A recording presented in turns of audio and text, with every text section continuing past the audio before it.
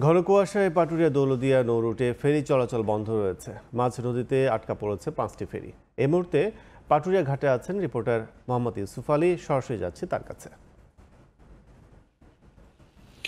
এই যে সাড়ে ছয় ঘণ্টা অতিবাহিত হয়ে গেছে, ঘন কুয়াশার কারণে এটা পাটুরিয়া, দোলদিয়া, আরিচা, কাজিরহাট এবং ধাওয়াপাড়া, নাজিরগঞ্জ রোডে কিন্তু ফেরি চলাচল সম্পূর্ণ বন্ধ রয়েছে। বিআইডব্লিউটিসি কর্তৃপক্ষ আসলে এটা যতটুকু আমাদেরকে জানিয়েছে, গত রাত সন্ধ্যার থেকে কিন্তু এই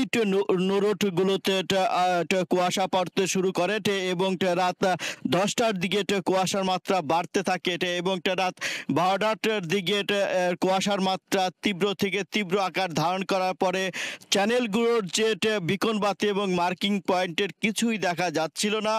তখনই কিন্তু বিআইডব্লিউটিসি কর্তৃপক্ষ দুর্ঘটনা এড়ানোর জন্য এই নোরট গুলোতে তে ফেরি চলাচল সম্পূর্ণ বন্ধ ঘোষণা করেছে। এবং সেই ক্ষেত্রে কিন্তু ওই রাত দশটার পর থেকে যে যানবাহনগুলো এসেছে, সেই যানবাহনগুলো কিন্তু আটকে পড়তে শুরু করে এবং উভয় ঘাট এলাকাতে এখন পর্যন্ত তিন শতাধিক যানবাহনটা আটকে রয়েছে।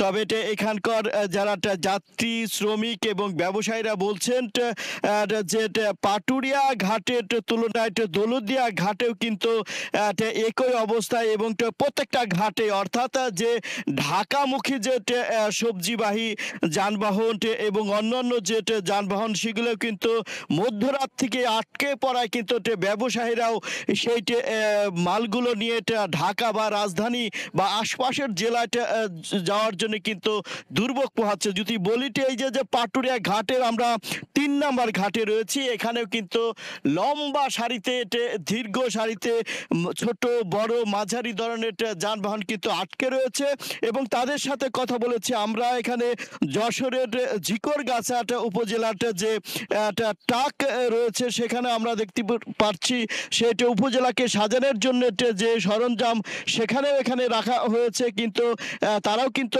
মধ্যরাত থেকে এটা আটকে রয়েছে সেটা কিন্তু তারা যেতে পারছে না। সেখানে বিভিন্ন ধরনের সৌন্দর্য বর্ধনকারী পশু অর্থাৎ বানানোটা তাও কিন্তু রয়েছে এছাড়াও কিন্তু তিনটি আসলে ঘাটেই কিন্তু উভয় ঘাটেই আটকে রয়েছে। এছাড়াও কিন্তু এই যে পাটুরিয়া ঘাট এলাকাতে যেমন টে কেরামতালি টে, আহ, রজনীগন্ধা এবং আহ, এটা হাস্তা হেনা নামক তিনটি ফেরি তিনটি পকেটে কিন্তু আটকে রয়েছে। এছাড়াও কিন্তু প্রত্যেকটা ঘাটে অর্থাৎ তাদের ফেরিগুলোটা নঙ্গর করে রাখা হয়েছে লোড দিয়ে রাখা হচ্ছে।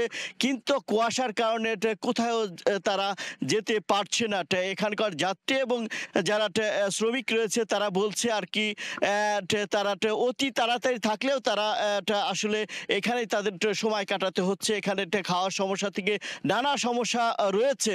তো পাটুরিয়া দৌলদিয়া আরিচা, কাজিরহাট এবং ধাওয়াপাড়া নাজিরগঞ্জ রোডে মোট সাতাশটি ফেরি চলাচল করে। সম্পূর্ণ ফেরি চলাচল বন্ধ হওয়ার কারণে তারা অচল সময় এখন কাটাচ্ছে। এই ছিল আমাদের, আমার কাছে পাটুরিয়া ঘাট থেকে সর্বশেষ চতুর্থ